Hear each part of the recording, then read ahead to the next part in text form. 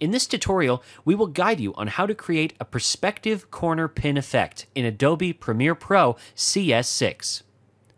For this tutorial, we will be using a virtual set screen where we will fill a TV monitor with the relevant images.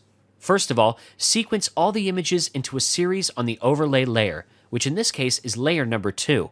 Transform the image and place it on the TV monitor. To transform the images, go to the Effect panel and type Corner Pin Effect.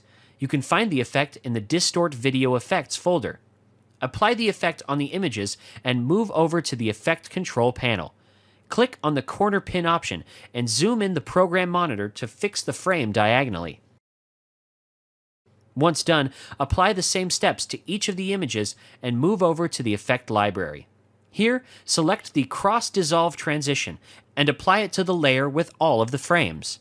This will generate a smooth flow for the slideshow on the TV monitor.